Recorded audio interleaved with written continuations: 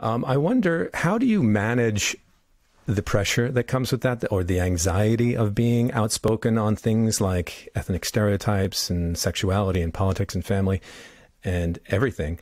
Um, is the medium of comedy itself your defense? Yes, because I think comedy is so um, immediate and reflexive and kind of um, a reactionary thing. So you can kind of just uh, use it to get through.